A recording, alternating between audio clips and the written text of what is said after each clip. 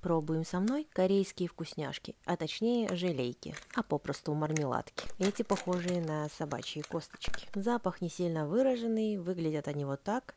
Я тут пытаюсь показать, но дубль 2. Вот, они выглядят как собачьи косточки. Кстати, я ела песочные печенья раньше в виде собачьих косточек. Гав! Ой, простите. Следующие мармеладки, тут понятно, они выглядят как кусочки арбуза.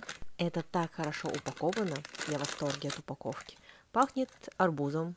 Сейчас попробуем на вкус. Выглядит он, ну, следующим образом.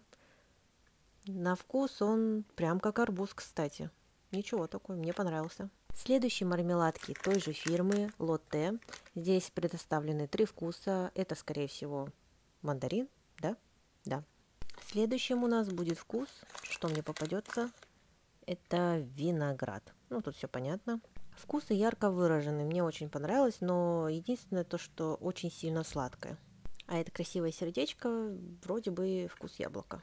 В очереди у нас мармеладки, тоже сердечки, но со вкусом персика. Если честно, Поначалу запах мне не очень понравился, но вид очень привлекательный. Мне кажется, этими мармеладками можно украсить торт на 14 февраля. Кто съел королевский торт? Мармеладки со слабо выраженным вкусом персика. Эти мармеладки меня привлекли своей формой. Baby shark ту туру туру baby shark ту туру туру Блин, они такие прикольные на самом деле, а со вкусом они дыни и пахнут, они пахнут огурцами. Честно, я ожидала чего-то большего, мне понравились больше первые.